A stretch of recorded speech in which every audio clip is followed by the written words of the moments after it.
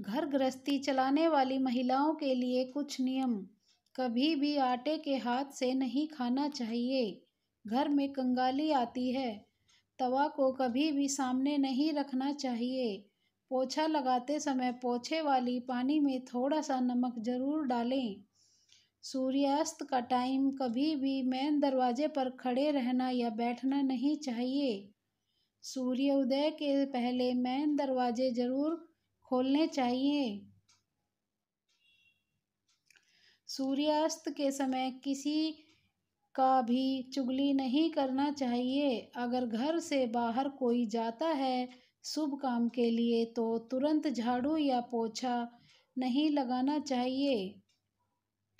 अगर छोटे बच्चे ज़्यादा रोते हैं या बीमार पड़ते हैं तो उसे शाम के टाइम कपूर की धुनी ज़रूर दिखाएँ। सूर्यास्त के समय किसी को भी दूध, दही और प्याज नहीं देना चाहिए। इनसे घर की सुख समृद्धि खत्म हो जाती है। महीने में एक बार ऑफ़िस में मिठाई ज़रूर ले जानी चाहिए। और अपने मित्रों, अन्य कर्मचारियों के साथ मिलकर खानी चाहिए।